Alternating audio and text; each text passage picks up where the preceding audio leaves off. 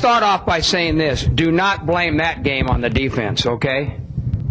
I don't care who you play, whether it's a high school team, a junior college team, a college team, much less an NFL team. When you turn the ball over five times, four interceptions, one for a touchdown, three others in field position to set up touchdowns, you ain't going to beat anybody I just talked about. Anybody. All right? And that was a disgraceful performance, in my opinion. We threw that game. We gave it away by doing that. We gave them the friggin' game. In my opinion, that sucked. Uh, you know, you can't turn the ball over five times like that. Holy crap. I don't know who the hell we think when we are when we do something like that. Unbelievable. Five turnovers. One of them for, we've, we've thrown four interceptions for touchdowns this year. Well, good morning, good people. Mark Holmes here with my buddy Cowboy Jobu. And as always, I want to say thank you all for watching, commenting, subscribing, and being part of the Jobu Sports Report. Without you guys, as well as you ladies, you know that this literally does not work. Let me say shout out to BetUS. This video is sponsored by BetUS. And as I go through here, because we have, oh my goodness, oh my goodness, as we go through here and we look at our odds, you can have 150% matching by using YouTube 150. And as I'm looking at the game tonight, the Buffalo Bills plus two, the Miami Dolphins are favored by two. Kind of surprised by that because I thought Josh Allen is the greatest thing since Joe Montana. But um, going down here with our Cowboys, of course, you know I have to take my Cowboys. Uh, Cowboys minus six against New Orleans. And that brings me to the question. Definitely check out BetUS. Brings me to the questions because people are looking and seeing the score of uh, Carolina getting mollywopped 47 to 10, where the New Orleans Saints scored literally on nine straight possessions and it looked like we are talking about a team that was playing tiddlywinks versus a team playing 3D chess. And the question is, do we believe the hype on the New Orleans Saints? Now, I have to say, two of my, my buddies are there, but you're not friends this week. Demario Davis and John Ridgeway. I would love to still have John Ridgeway because that is a skull cracker um, down with New Orleans coming into town. Um, I've never been a big Derek Carr fan. I just haven't been. I just haven't been. Sorry. I think he's one of those guys that have been very much overrated. And if I look at the stats from last week, when you see 47 points, you say, oh my God, that what a monster game. But Derek Carr was 19 of 23, 200 yards, three TDs. Nice, efficient day, but it was a whole team win. Alvin Kamara had 83 yards rushing um, and so on. But it was really the defense that literally stymied Bryce Young. And you have to start wondering because as you know that now that the conversation is dead, at least for the next four or five years with Dak Prescott, is looking at drafting quarterbacks. It ain't easy, bro. It ain't easy, and you have to start thinking about Bryce Young and saying, was that going? Was that a mistake? Is he going to be a bust? Yeah, not my problem. We have Dak Prescott. So the good news for us going into this game is, of course, Jake Ferguson surprising everybody that we heard that he was going to be practicing yesterday. And the more you listen to him, the more he sounds like he's going to be able to go. Now, of course, the, the training staff is going to protect him from himself. And I dare say, if you think back a couple of years ago, Dalton Schultz last year here, I believe he hyperextended his knee, and I think he was worried about losing his starting position, and he ended up coming back, you know, almost immediately. I'm not sure that it did himself a, a service because it seemed like he wasn't quite there. Um, you know, so I don't know if it's better to go ahead and say, Jake Ferguson, as much as I want you on the field, I, I need you to make sure you're 100% because there are 17 games in the regular season there are, oh my God, it's literally a marathon. And so we need you when it counts down the stretch. And I'm not sure if missing a game or two now um, to make sure he's healthy when he gets back versus him coming back and never be anywhere close to what he was. uh, will be the thing. So we'll have to wait and see how that goes, and hopefully he'll be there. Now, here's an interesting take, at least for me. Now, everybody says that now Dak Prescott's got his contract, that he has all the pressure on him. I don't know that he has any more pressure than what he was already putting on himself because Dak Prescott is a guy who um, always puts pressure on himself to succeed. The thing that's interesting to me is it seems like there's a sense of urgency with the Cowboys and the Cowboys players where their focus is winning Super Bowl. At least that's the way they're at least talking the talk. We'll see if they walk the walk. And you can see that maybe all of the things that were said about the Dallas Cowboys, about them not having talent, you know, that, you know, remember, they literally trashed the Dallas Cowboys and told you they don't have talent, that they're not in good shape. They didn't do anything in free agency to help them. We're only going by week one. Week one, okay? So don't get too excited. But week one, what I said the Cowboys have to do for this season to end where we want it to be is they have to thread the needle. And by threading the needle, that means that Diggs doesn't have any after effects of an ACL that our linebacking corps, that Eric Kendricks isn't an old guy that's just here to get a paycheck like a Clinton Ha Dix. That Overshown is going to give us a big boost that we were hoping for his rookie year and be able to show. That our defensive line was going to be able to hold up against running teams. That Tyler Guyton and Cooper Beebe were going to be the real deals out of the box, and that Zeke Elliott doesn't look like he's 50 years old.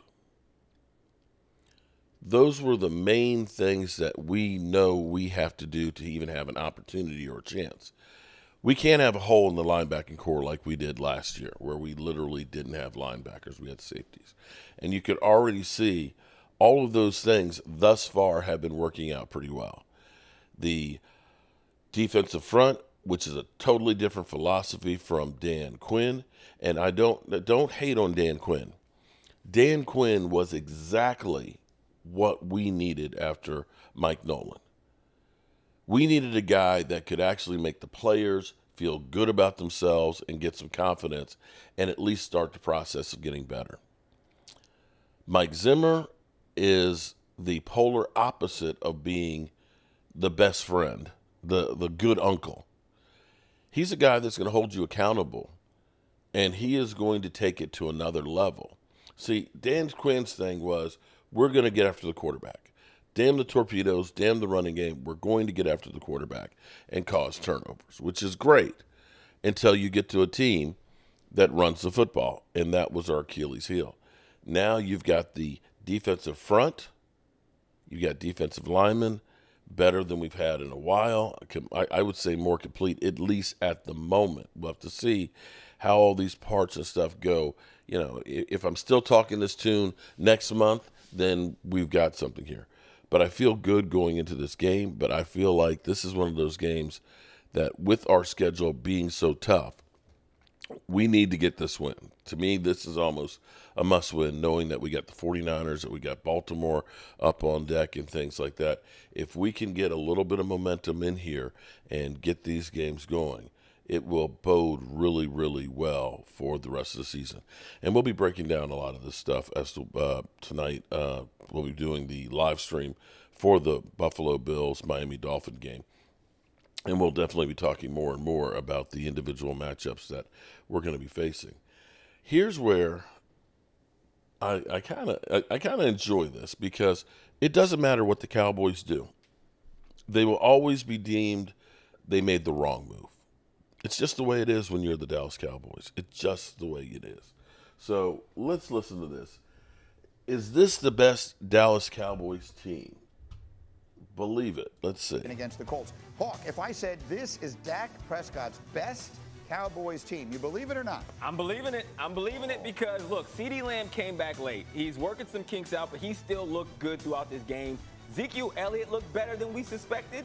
In, in week one, that offensive line looks solid, and Mike Zimmer coming to the defensive side of the Dallas Cowboys Yeah. is a difference maker. So I truly believe we're going to see a version of the Cowboys that we haven't seen in recent years. We're going to talk about them in a moment, but let's let the man who owns the team talk about them first. Jerry Jones, as mm-hmm. you may have heard, gave Dak Prescott the biggest contract in the history of the NFL, and then yesterday he was talking about his expectations. Listen.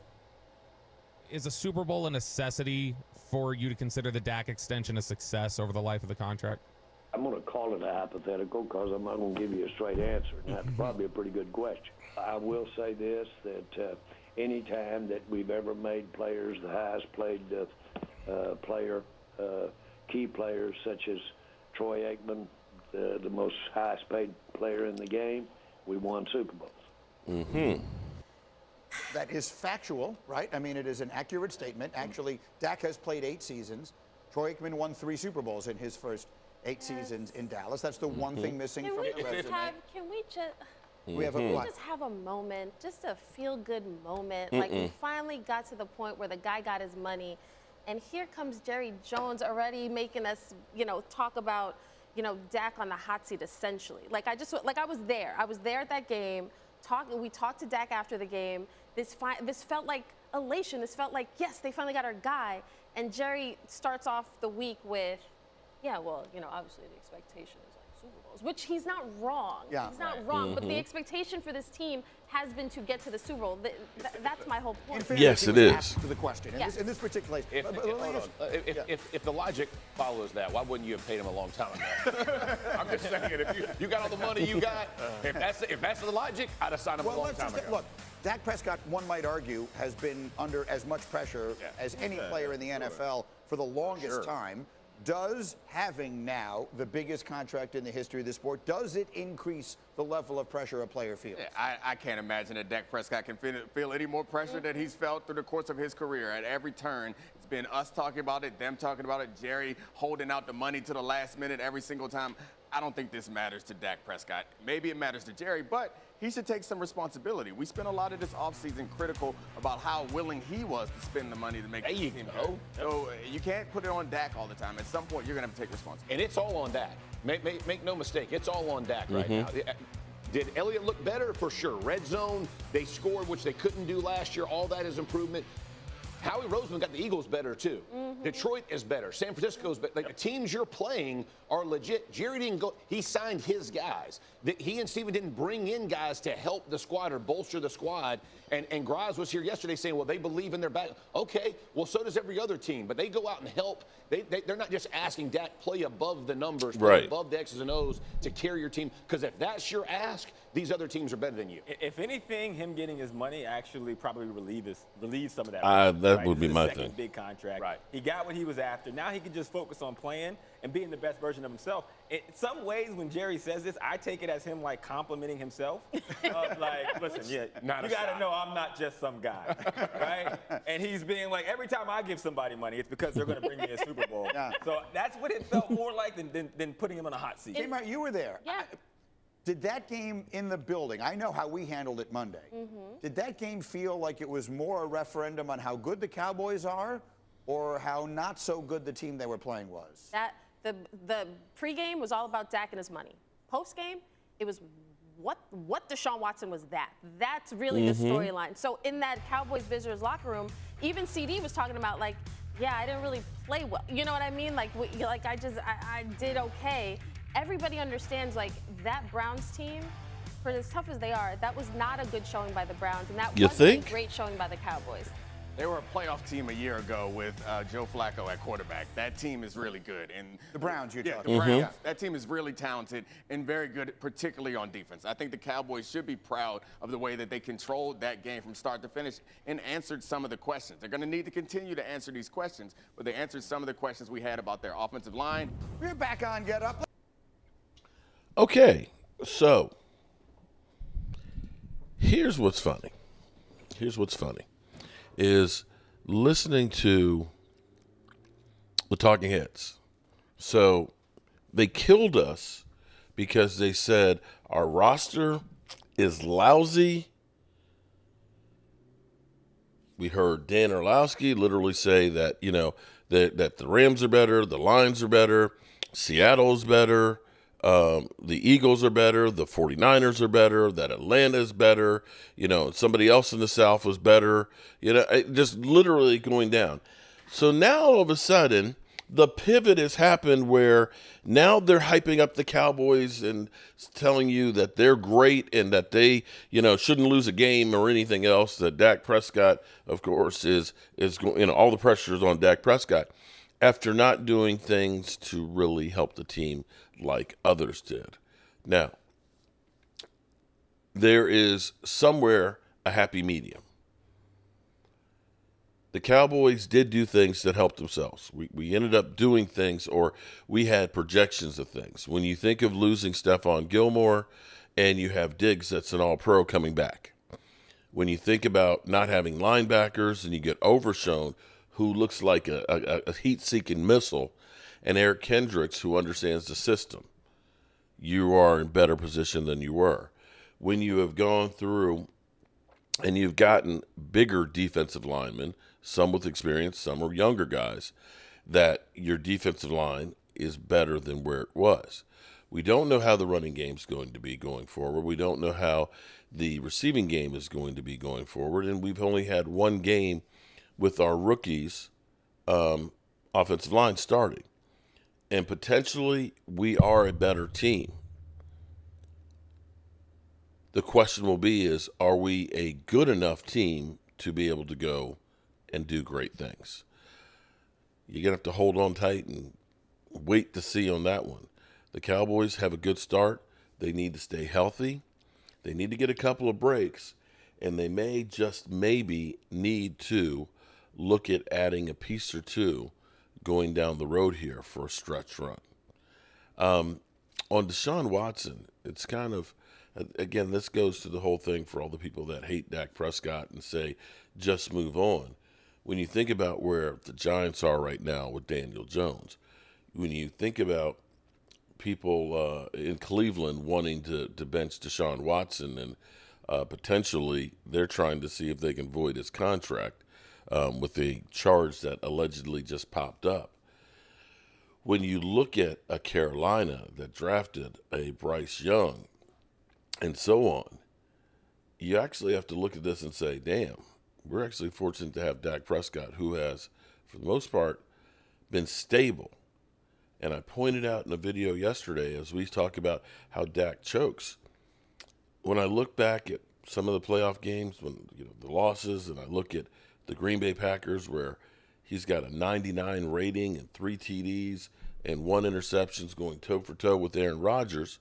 When I look at the Rams game, where the Rams literally ran 273 yards on the ground, and Dak Prescott has got 199 yards and two TDs, and uh, Jared Goff has half of that. But we only get 50 yards total rushing. I can't look at that and say it's all on you, Dak. So it's a team sport, it's a team game, and hopefully our team is a better team and we'll get a better result. As always, good people, I appreciate y'all, and I will see you soon. And uh, let's end with this. By the way, King Dick back here, and so before we start this video, I gotta get this mother humping thing out of the way.